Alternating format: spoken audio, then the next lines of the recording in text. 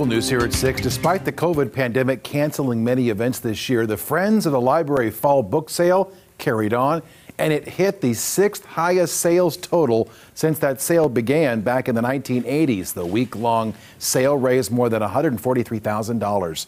The Friends of the Library say that they didn't know what to expect going into the sale, but decided to take safety precautions and move forward anyway. A park and